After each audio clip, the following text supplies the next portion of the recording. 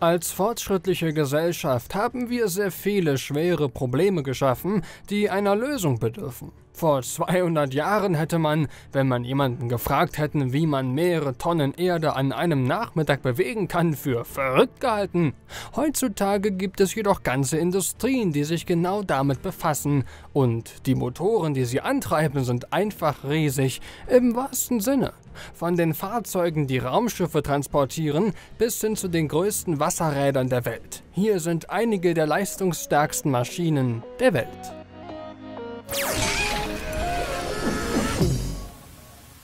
Stratolaunch Party. Okay, ich weiß, was ihr jetzt denkt und nein, das ist kein Flugzeug, das ich in Photoshop an den Flügeln gespiegelt habe. Es ist ein echtes Flugzeug namens Stratolaunch und seine Aufgabe ist nicht von dieser Welt. Macht euch nicht lächerlich, wenn ihr denkt, dass dieses Monster wie zwei kleinere Flugzeuge aussieht, die mit Klebeband zusammengeklebt wurden, denn Genau das ist es. Okay, vielleicht nicht mit Klebeband zusammengefügt, aber die Maschine besteht größtenteils aus zwei ausrangierten Boeing 747. Wie ihr euch wahrscheinlich denken könnt, ist die Spannweite der Tragflächen mit 117 Metern fast doppelt so groß wie der einer Boeing 747. Das ist länger als ein Standard-Fußballfeld und mehr als genug, um kleinere Passagierflugzeuge in den Schatten zu stellen. Um sicher zu starten und landen zu können, ist dieses Ungetüm mit 28 Rädern ausgestattet, was die meisten Langstrecken-LKWs in den Schatten stellt. Mit einem Gewicht von 580 Tonnen, fünfmal so viel wie ein Blauwal, ist es erstaunlich, dass dieses Ding überhaupt fliegen kann. Um dieses Gewicht zu tragen, ist die Stratolaunch mit sechs leistungsstarken Düsentriebwerken an den Flügeln ausgestattet, während die meisten kommerziellen Flugzeuge normalerweise nur zwei oder vier haben. Die Stratolaunch benötigt nur einen Piloten und einen Co-Piloten, die im rechten Rumpf sitzen. Wozu dient dieses Superflugzeug? Nun, man kann sich die Stratolaunch als Taxi vorstellen, aber statt verwirrter Touristen, die irgendwie den Eiffelturm nicht finden können, transportiert sie Shuttles ins Weltall. Die Stratolaunch ist so konzipiert, dass sie ein Space Shuttle an ihrer Unterseite auf eine Höhe von etwa 74.000 Metern befördern kann. An diesem Punkt kann das Shuttle von der Stratolaunch selbst abheben. Obwohl diese Methode noch in der Testphase ist, hat sie gegenüber dem herkömmlichen Start vom Boden aus einige Vorteile. Erstens kann die Stratolaunch bei schlechterem Wetter starten als Space Shuttles. Außerdem bedeutet die Mitnahme im Flugzeug, dass die Shuttles weniger flüchtigen Treibstoff mitführen müssen. An der Spitze kann die Stratolaunch unglaubliche 250.000 Kilogramm tragen. Das reicht aus, um einen ganz Doppeldeckerbus zu transportieren. Eigentlich reicht es sogar für 20. Typisch. Du wartest 10 Minuten auf einen Bus im Weltraum und dann kommen 20 auf einmal. Big Bertha. Was ist das Langweiligste, das du dir vorstellen kannst? Im Stau stehen? Fernsehwerbung? Eine Star Wars Trilogie? Nun, was auch immer deine Antwort ist, es ist wahrscheinlich nicht so langweilig oder boring wie unser nächster Eintrag. Triff Big Bertha, die größte Bohrmaschine der Welt. Bohrmaschinen sind wie riesige, stachelige Bohrer, die sich durch die Erde drehen und dabei Tunnel graben. Bertha hat die Aufgabe, den Route 99 State Tunnel in Seattle zu bauen, der sich über drei Kilometer erstreckt und Sodo mit South Lake Union verbindet. Wie ihr euch vorstellen könnt, erfordert es viel Muskelkraft, so viel Erde zu bewegen, und wenn es um Größe und Gewicht geht, ist Bertha kaum zu übertreffen. Mit einer Länge von knapp 100 Metern und einem Durchmesser von 17 Metern ist Bertha so lang wie Big Ben und zwei Busse breit. Außerdem bringt Big Bertha die unvorstellbare Last von 6700 Tonnen auf die Waage, fast zehnmal so viel wie die Christusstatue in Brasilien. Damit ist Bertha auch mehr als doppelt so groß wie andere Tunnelbohrmaschinen, wie der wundervoll benannte Emerald Mole. Natürlich war Bertha nicht billig. Die Baukosten für das alte Mädchen werden auf rund 80 Millionen US-Dollar geschätzt. Die Maschine war so groß und komplex, dass Teile in einer Spezialfabrik in Japan gefertigt und dann in 41 Teilen nach Seattle verschifft wurden. Da die Manövrierfähigkeit nicht gerade ihre Stärke war, wurde Bertha in Fahrtrichtung gebaut. Sie nahm 2013 ihre Arbeit auf, aber trotz ihrer Größe dauerte es noch vier lange Jahre, bis sie fertig war. Das liegt daran, dass der riesige Schneidkopf, der an Berthas Vorderseite befestigt ist, sich mit etwa einer Umdrehung pro Minute drehte und die Erde vor sich zermalte, bevor sie über ein Fördersystem durch den Rest der Bohranlage aus dem Weg transportiert wurde. Während sie sich allmählich vorwärts bewegte, säumten riesige Zementringsegmente den Tunnel, den Bertha hinter sich ließ, und eine Reihe von Hydrauliktanks schoben dann den neuen Ringabschnitt vorwärts, um den gesamten Vorgang voranzutreiben. Der Grund, warum das so langsam geschah, war, dass plötzliche Bewegungen keine Schockwellen durch Seattle schicken sollten. Langsam und stetig war hier wirklich das Motto. 2017 nach 2825 Metern und 1,5 Millionen Tonnen Erde war Bertha durch. Es wird geschätzt, dass der Tunnel der Route 99 täglich 110.000 Fahrzeuge aufnehmen kann und jedes davon verlangt Bertha dieses Privileg. Ihr werdet feststellen, dass ich Bertha in der Vergangenheitsform erwähne. Das liegt daran, dass Bertha nach der Fertigstellung des Tunnels demontiert und eingeschmolzen wurde. Ihr Metall wurde für andere Maschinen wiederverwendet, sodass sie in gewisser Weise weiterlebt. Aber wisst ihr, was gar nicht langweilig ist? Meine Videos. Also, wenn ihr mögt, klickt auf Gefällt mir und abonnieren, um weitere verblüffende Fakten und Unterhaltung zu erleben. Alles gemacht? Cool. Dann mal weiter. Big Wind Wolltest du schon immer deinen Garten in kürzester Zeit bewässern? Dann lass mich dir den Big Wind vorstellen, der deinen Rasen in Sekunden bewässern kann und dabei vermutlich deine Einfahrt zerstört. Dieser unglaubliche Sprinklertank wird zur Bekämpfung von Bränden eingesetzt, die sonst nicht gelöscht werden könnten. Dazu gehören Brände, die durch extrem brennbare Chemikalien verursacht werden, die ohne den Big Wind so heiß gebrannt hätten, dass die einzige Möglichkeit darin bestanden hätte, sie so lange stehen zu lassen, bis sie von selbst ausgegangen wäre. Der Big Wind wurde jedoch nicht zur Brandbekämpfung entwickelt, sondern zur Reinigung von Panzern. Genauer gesagt von Panzern aus der Sowjetära, die durch Angriffe mit chemischen Waffen kontaminiert wurden und deren Spurenbestandteile noch jahrelang gefährlich sein können. Diese Verunreinigungen können jedoch hartnäckig sein, sodass viel Muskelschmalz erforderlich war, um die Aufgabe zu erledigen. Das Fahrgestell des Big Wind besteht aus einem alten T-34-Panzer, dessen immenses Gewicht für die Stabilität der oberen Teile sorgt. Zwei Düsenturbinen, die ursprünglich auf dem klassischen MiG-21 Kampfflugzeug stationiert waren. Diese massiven Motoren können wie der Turm, den sie ersetzen, geschwenkt und positioniert werden und bieten eine beeindruckende Präzision, wenn man bedenkt, wie stark der Wasserstrahl ist. Ehrlich gesagt sieht das Ding für mich aus wie ein Panzer aus der Zukunft. Diese Dinger sehen aus, als könnten sie Gebäude dem Erdboden gleich mal unten. Naja, das können sie auch. Wisst ihr, nachdem der Big Wind getestet wurde und sogar nachdem die Leistung des Motors auf nur 70% der maximalen Kapazität begrenzt wurde, war die Maschine immer noch zu stark für den Zweck, für den sie entwickelt wurde. Derzeit kann der Big Wind 833 Liter Wasser pro Sekunde versprühen. Ja, ihr habt richtig gehört, pro Sekunde. In nur einer Minute kann dieses Gerät also mehr als 1000 Bierfässer Wasser verspritzen. Nicht nur das, sondern wie der Name schon sagt, bläst der Big Wind doch eine riesige Menge Luft aus, wenn er in Betrieb ist, was perfekt ist, um Rauch und Flammen zu beseitigen. Wenn ihr mich fragt, wäre der Big Wind für Brandbekämpfung wie gemacht. Ich meine, könnt ihr euch vorstellen, dass dieses Gerät eine alte Wasserrutsche antreibt? Du würdest in einem anderen Land landen. Eine sehr hungrige Raupe. Musstest du schon mal einen Monsterhaufen absetzen oder eine riesige Ladung abladen? Nun, Caterpillar ist der richtige Hersteller für dich. Schließlich bauen sie einige der besten Muldenkipper der Welt. Während die 797-Reihe seit 1998 auf dem Markt ist, war das 2009er F-Modell ihre bisher größte Errungenschaft. Dieser Gigant unter den Erdbewegungsmaschinen ist ganze 15 Meter hoch und 14 Meter breit, was ihn zu einem riesigen Würfel macht. Der Zweck dieses Dino-Dumpers ist das Laden, Transportieren und Abladen von Erde, Steinen und Mineralien. Wie du dir vorstellen kannst, ist der 797F besonders auf Baustellen nützlich, auf denen es von Dreck und Mineralien nur so wimmelt. Der 797F hat eine Nutzlastkapazität von 400 Tonnen, genug um 60 Elefanten zu transportieren, auch wenn es eine ziemlich enge Fahrt wäre. Diese Kapazität ist ganze 20 Tonnen höher als beim Vorgängermodell 797B, das schon ein riesiges Fahrzeug war. Außerdem wiegt der 797F selbst 1,3 Millionen Pfund.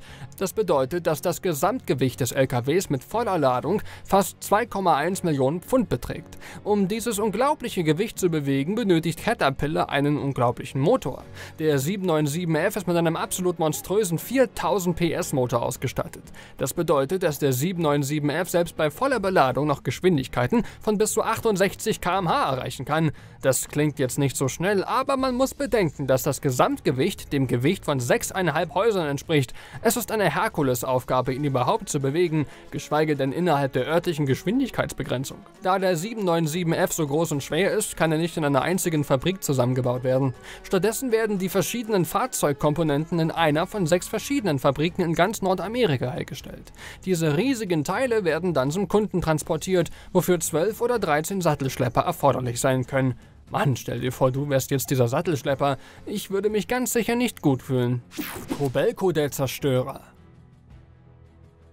Stell dir vor, jemand fordert dich zu einem Duell heraus. Welche Waffe würdest du wählen? Eine Schrotflinte ist eine sichere Wahl, vielleicht ein Rapier, wenn du dich schick fühlen willst. Nun stell dir vor, es wäre kein Mensch, der dich zu einem Duell herausfordert, sondern ein Gebäude. Ja, plötzlich sehen diese mickrigen Waffen nicht mehr so nützlich aus. Hier würdest du den Kobelco SK 3500D einsetzen. Vielleicht kennst du die Baumaschinen von Kobelco von diesem coolen, aber leider retuschierten Bild ihres 210 Baggers, das vor kurzem im Netz die Runde machte. Tut mir leid, wenn ich den Spaß verderbe, aber es braucht mehr als eine Kette, um diese Steigung zu erklimmen. Zum Glück ist der SK 3500T cool und echt. Diese gigantische Maschine ist darauf ausgelegt, die Fundamente von Wolkenkratzern, die abgerissen werden sollen, auseinanderzureißen. Du weißt, dass du es mit einer extrem harten Maschine zu tun hast, wenn ihre bevorzugte Beute ein Wolkenkratzer ist. Das Zerlegen von Gebäuden erfordert viel Kraft und der 3500D kann mit einer Reihe von Klauen oder Nibblern mit einer Schneidkraft von bis zu 2716 kN ausgestattet werden, was einer Kraft von mehr als 276.000 Kilogramm entspricht. Nicht einmal meine Mutter drückt mich an Thanksgiving so fest. Außerdem wurde der Kobelco SK 3500D 2005 mit einer schwindelerregenden Arbeitshöhe von 65 Metern als Maschine mit der höchsten Arbeitshöhe ins Guinness-Buch der Rekorde aufgenommen. Das ist hoch genug, um den schiefen Turm von Pisa zu packen. Verdammt, der ist sogar so stark, dass er das Ding wahrscheinlich endlich wieder gerade rücken könnte. Wie du dir vorstellen kannst, ist dieser gigantische Zerstörer mit einem Gewicht von 327 Tonnen sehr schwer. Es überrascht daher nicht, dass er mit einer Höchstgeschwindigkeit von nur 1,1 km/h nicht gerade das schnellste Gerät ist. Er muss aber auch gar nicht schnell sein, da der 3500D mit einer Reihe abnehmbarer Hydraulikstifte in kritischen Bereichen ausgestattet ist. Das bedeutet, dass die gigantische Maschine nach getaner Arbeit problemlos auseinander und am nächsten Einsatzort zusammengebaut werden kann. Wenn eine 65 Meter hohe und 330 Tonnen schwere Maschine durch enge Stellen passt, gibt es wirklich keine guten Ausreden, warum ich nicht in meine Hose vom letzten Jahr passen sollte. Das Riesenrad. Schaut euch das erstaunliche, sich drehende Falkirk Wheel an. Für mich sieht das Ding ein bisschen so aus, als würde Dr. Doom es als Antrieb für eine Art Todesstrahl verwenden, aber das liegt nur daran, dass ich mein Gehirn mit einem Leben voller Comics zerstört habe. Obwohl es keinen Laser abfeuern wird, sobald es sich schnell genug dreht, ist es dennoch ein bemerkenswertes Stück Ingenieurskunst. Das Falkirk Wheel befindet sich im schottischen Union-Kanal, der ursprünglich gebaut wurde, um die beiden größten Städte des Landes, Glasgow und Edinburgh, miteinander zu verbinden. Der Union-Kanal verläuft oben auf einem Hügel, während der Forth und der Clyde unten entlang führen. Vor dem Bau des Falkirk Wheel war es ein Albtraum, von einem Kanal zum anderen zu gelangen. Die Boote waren auf eine Reihe von Schleusen angewiesen, die die Boote durch Anheben oder Absenken des Wasserspiegels in verschiedenen Kammern bewegen. Dies war ein langer, mühsamer Prozess und die Schleusen fielen häufig aus und mussten gewartet werden. 1998 startete Schottland das 84 Millionen Pfund teure Millennium Link Project, in dessen Mittelpunkt das beeindruckende Falkirk Wheel stand, der größte rotierende Schiffslift der Welt. Ein Boot fährt in das eine Ende des Lifts ein, während das andere Ende mit Wasser gefüllt wird. Das Rad muss dann nur noch genug Kraft aufbringen, um den Lift in Bewegung zu setzen, wie bei einem großen Schubs. Der Rest wird durch die Trägheit erledigt, die das Boot zum anderen Kanal befördert. Dieses einzigartige Design verbraucht eine erstaunlich geringe Menge an Energie. Das liegt daran, dass die meisten Bootslüfte Motoren verwenden, die die schweren Boote während der gesamten Fahrt antreiben. Um mit einem herkömmlichen Bootslift 500 Tonnen Wasser 24 Meter hoch zu heben, werden 32 Kilowattstunden Energie benötigt. Das entspricht dem Stromverbrauch eines amerikanischen Haushalts für einen Tag, der für eine zweiminütige Fahrt aufgewendet wird. Im Gegensatz dazu verbraucht das unglaubliche Falkirk Wheel nur 1,5 Kilowattstunden Energie, weniger als ein Zwanzigstel eines herkömmlichen Bootslifts. Ich glaube, ich habe viel mit dem Falkirk Wheel gemeinsam. Wenn etwas meinen Magen mit genügend Kraft stößt, wackelt er stundenlang. Der Stegosaurus. Psst, ey, wie schmutzig bist du. Echt schmutzig. Okay, dann lass uns mal richtig schmutzig werden. Mit ein paar guten altmodischen Fakten über die Landwirtschaft. Wenn du richtig schmutzig werden willst, dann schau dir die STX Stiger-Reihe von Case IH an.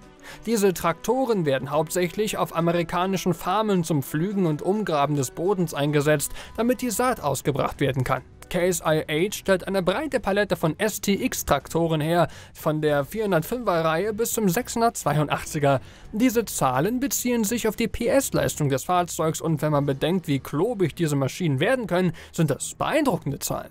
Die Räder dieser Biester haben einen Durchmesser von 208 cm und wiegen jeweils 336 Kilogramm. Tatsächlich sind sie noch beeindruckender, wenn man bedenkt, dass die größeren Modelle mit Kettenstadträdern ausgestattet werden können. Diese sorgen für mehr Stabilität, machen die Maschinen aber auch zu schnellen Landmaschinen. Wie kommt es, dass die nie in Plants vs. Zombies aufgetaucht sind?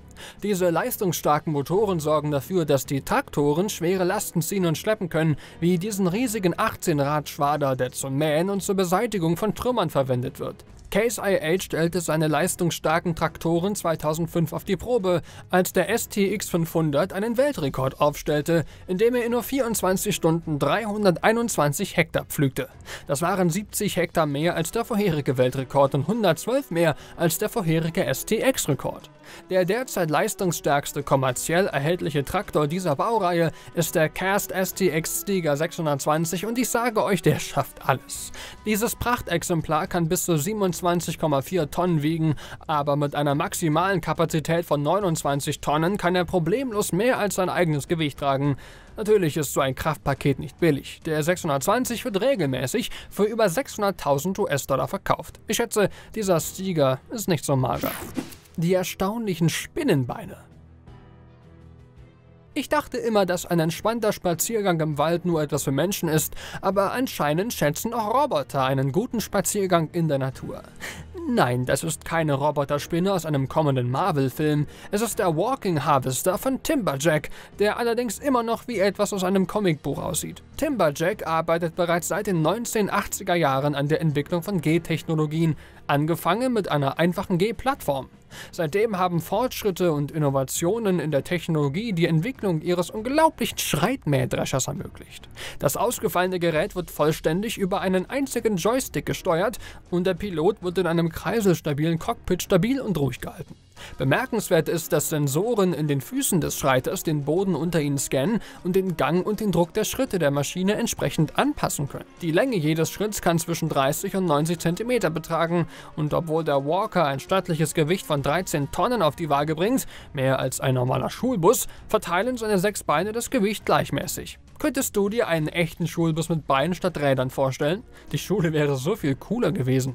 Abgesehen davon, dass sie futuristisch sind, welche Vorteile bieten Beine gegenüber Rädern? Nun, zunächst einmal erleichtern sie die Fortbewegung in hügeligen oder unebenem Gelände. Eine Maschine mit Rädern muss möglicherweise Zeit verschwenden, um um einen Baumstamm herumzufahren, während eine Maschine mit sechs Beinen einfach drüber hinweggehen kann. Beine ermöglichen es Maschinen auch, sich auf der Stelle zu drehen, in jede Richtung zu gehen, ohne sich zu drehen und in schwierigem Gelände stabiler zu bleiben. Maschinen mit Rädern haben auch tendenziell eine größere Auswirkung auf ihre Umgebung. Reifen zerstören den Boden mehr als Beine und können Bäume leichter umwerfen. Wenn eine Maschine mit Rädern schwer genug ist, sammeln sich die Rillen, die sie in der Erde hinterlässt, und leiten Regenwasser ab, was im Laufe der Zeit zu Bodenerosion führen kann. Trotz all dieser Vorteile und obwohl der Prototyp des ursprünglichen Ernters vor über zehn Jahren entwickelt wurde, haben die Maschinen mit Beinen noch einen langen Weg vor sich, bevor sie die Räder vollständig ersetzen können. John Deere, das Unternehmen, das Timberjack 2000 übernommen hat, ist zuversichtlich, dass wir in Zukunft mit weiteren Verbesserungen rechnen können. Tatsächlich sind bereits Schreitschlepper, Holzfäller und Kanalbagger in Arbeit. Vielleicht sind wir gar nicht so weit davon entfernt, Schulbusse mit Beinen zu haben. Auf der Grenze.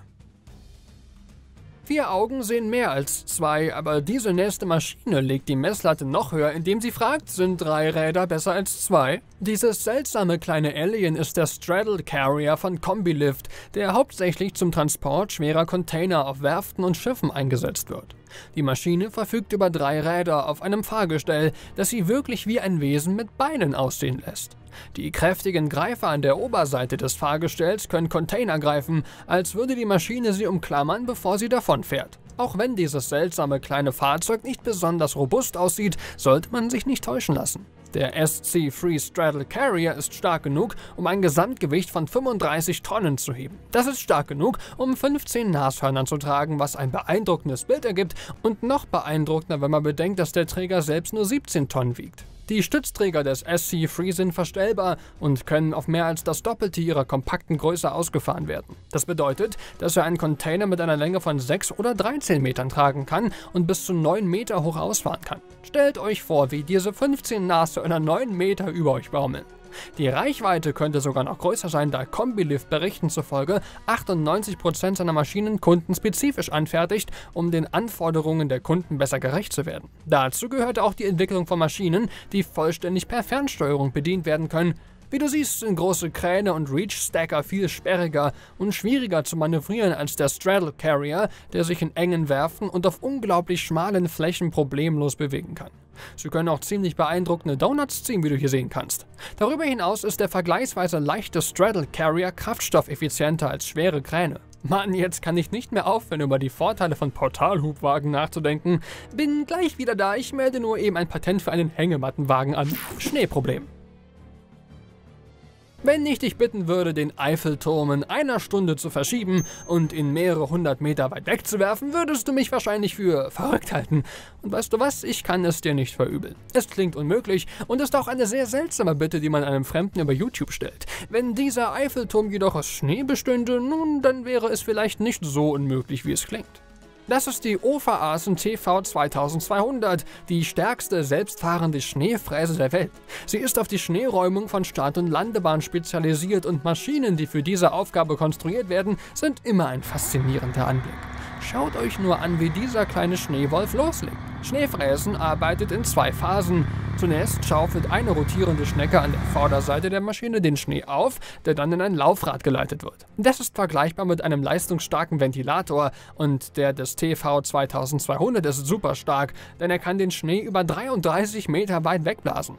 Warum wird für diese Aufgabe eine so leistungsstarke Maschine benötigt? Nun, wie du dir vorstellen kannst, türmt sich auf den Start- und Landebahnen von Flughäfen viel Schnee auf. Es handelt sich um große flache Landestreifen, die vor den Elementen nicht geschützt sind. Daher braucht es einen starken Motor, 2200 PS stark, um genau zu sein. Er nutzt diese Kraft erstaunlich gut und kann bis zu 12.000 Tonnen Schnee pro Stunde räumen.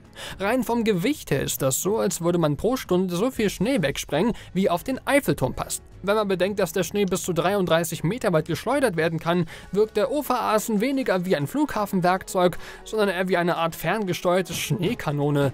Dieses Gerät könnte einer Wintergeburtstagsparty eine ganz besondere Note verleihen. Man sollte nur darauf achten, dass man die Kinder nicht lebendig begräbt. Nun, da waren sie. Einige der härtesten, coolsten und am höchsten spezialisierten Maschinen überhaupt. Und ich habe noch nicht einmal die krass Serverfarm erwähnt, auf denen all meine Videos gespeichert sind. Apropos, vergesst nicht zu teilen und zu abonnieren und zu liken und zu kommentieren, wenn ihr möchtet. Damit ich weiß, welches eure Lieblingsmaschine aus diesem Video war. Danke fürs Zuschauen und bis zum nächsten Mal.